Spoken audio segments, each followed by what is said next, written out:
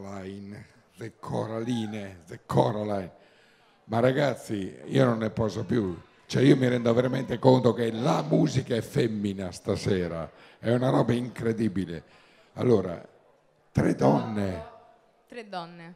di dove siete? Roma. Di Roma, The Coraline, The Coraline, sì. cantate in...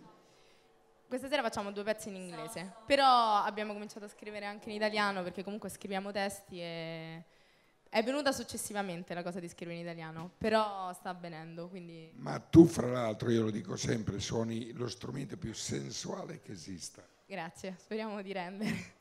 Speriamo di rendere. Son co- come si chiamano? Tu ti chiami? Rebecca, Salomè, Elettra.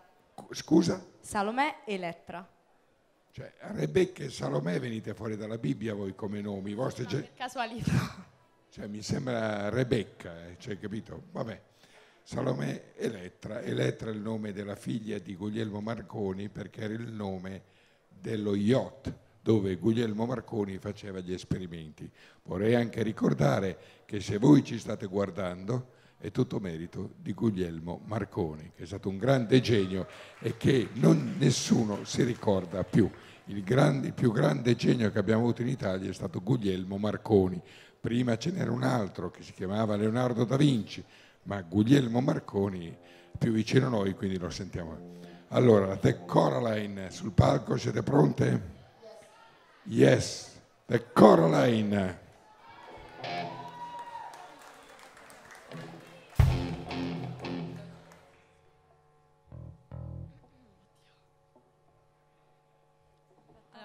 Chiama Underground. e approfitto per chiedere leggermente più voce in spia, grazie. Ehm, ci siamo immaginate questo mondo, appunto l'underground, dove ognuno di noi mh, combatte la più dura delle battaglie, il confronto con se stesso, perché non c'è niente di più brutto mh, di o- odiarsi e non accettarsi. E quindi attraverso questo viaggio nell'underground eh, mh, si comprende il fatto che accettarsi fa star bene, amarsi salva. Grazie.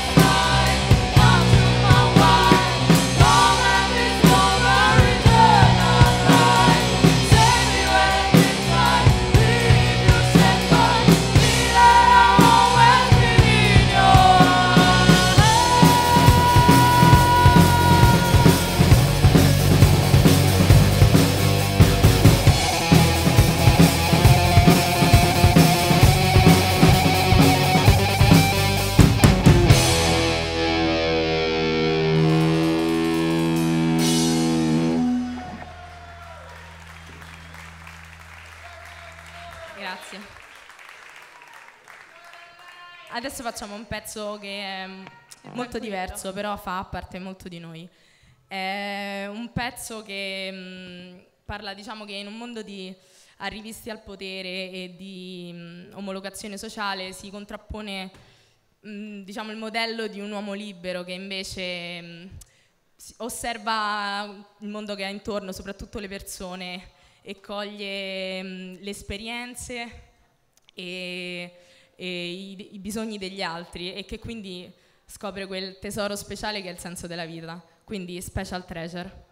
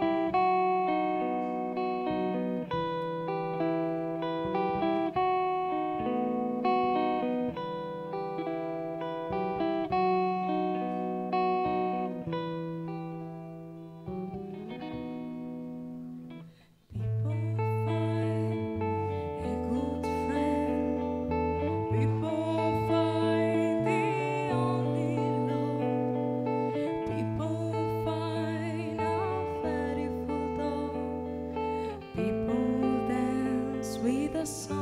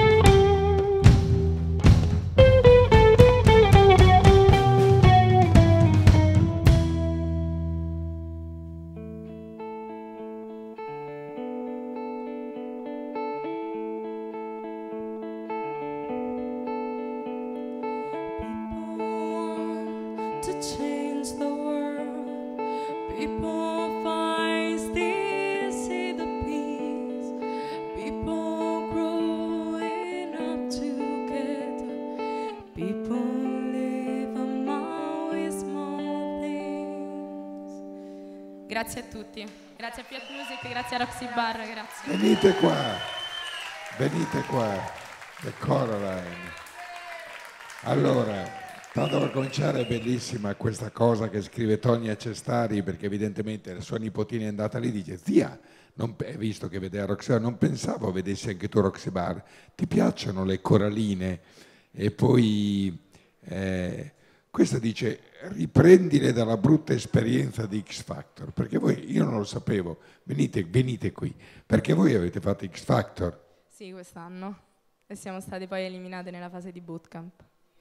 Cos'è di bootcamp? Anche tu? Cioè cosa? Anch'io otto anni fa, quindi eh, nella stessa fase. Però eh, non, lo- non ho seguito. Voglio capire una cosa. Voi vi siete presentate lì e suonavate? Suonavate? Suonavamo e cantavamo. Cioè, Vieni, vieni qua, vieni qua, vieni qua, vieni qua, vieni, vieni tu che rispondi tu, le altre mettetevi lì perché altrimenti io non posso fare avanti e indietro ping pong da matti. Cioè, la mia domanda era se voi siete andate lì, suonavate così come avete fatto stasera e vi hanno eliminato. Con quale motivazione? mm, no, abbiamo fatto un pezzo, una cover, cioè era obbligatoria la cover.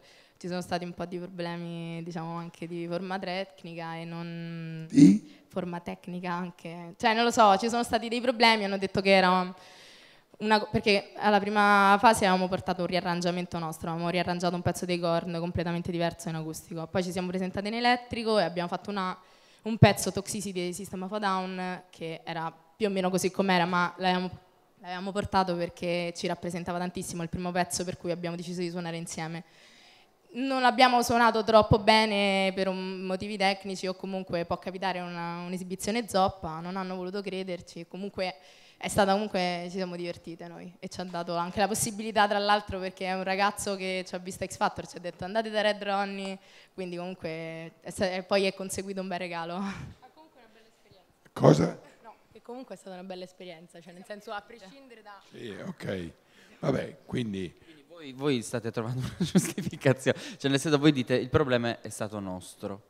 Ok. Cioè, nel senso, noi so- io so che quel pezzo lo sappiamo fare perché altrimenti non l'avremmo mai detto tra i pezzi da fare. Però può capitare, nel senso, comunque giudicano da un'esibizione, non hanno sentito i nostri... Vede- hai- non, non si ha tanto tempo per far... E quelli sono treni che passano e devi cercare di...